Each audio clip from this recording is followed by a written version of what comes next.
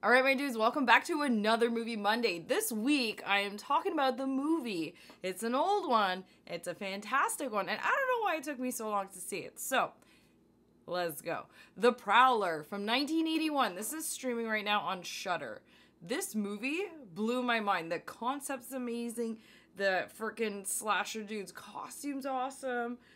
Everything's great about it. So, again, I don't know why it took me so long to see this movie because I remember hearing about the Prowler and just not knowing where it came from, or I guess it, just wasn't something that, again, I didn't grow up hearing about it. And, anyways, so I finally saw this on Shudder and I was like, oh, the cover art's so cool.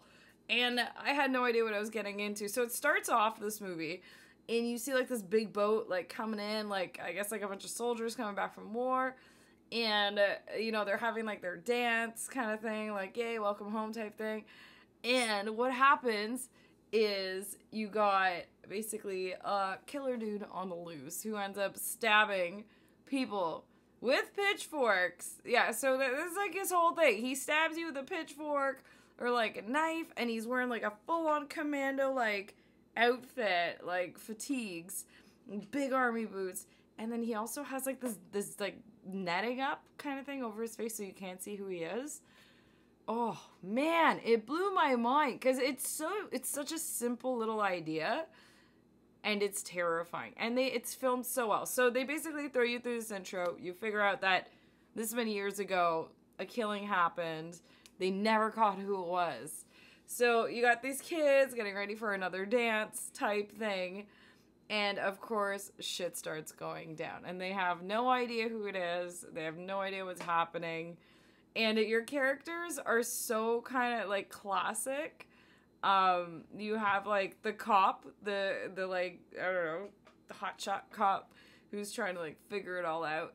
And then you have like like the main girl who's like the shy girl though. Like she's not like really like a final girl cut type vibe, but she wants to be kind of thing. And then you have like, you know, the hot one who's like getting it with every. Anyways, you have like all this dynamic, which is pretty classic in like a slasher film. But the special thing about this movie is it's one. It's just filmed so well.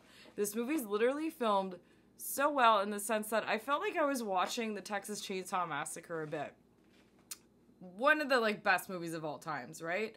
When you watch that film, everything is very it's just shot so well and you feel like you're being chased. You feel like you're part of the chaos. This movie has some wicked death scenes and wicked chase scenes that you just feel like you're in it.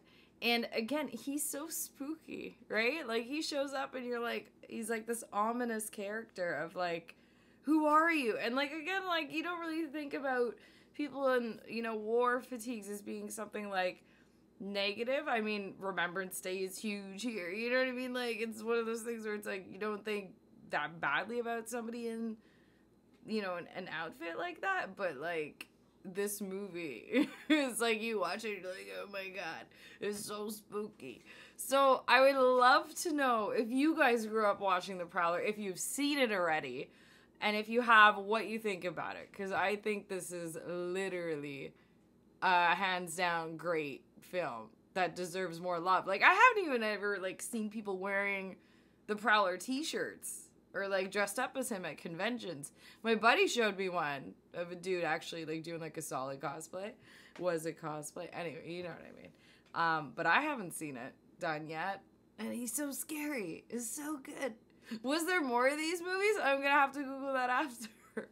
Anyways, if you're subscribed, Thank you so much. And if you're not, that's okay, dudes. But if you want to be a part of the party, do it because it's a lot of fun. And then you get to like now, like when we're going live or like when we're posting new shit, it's worth it. Have a wicked week and recommendation day. I I have finally watched enough things to make a recommendation day this week, so I'm super stoked. And it's gonna be a weird game of threes. Because a lot of you recommended things with threes involved in them. So yeah, it's it, get ready. okay, you guys have a wicked week. Bye.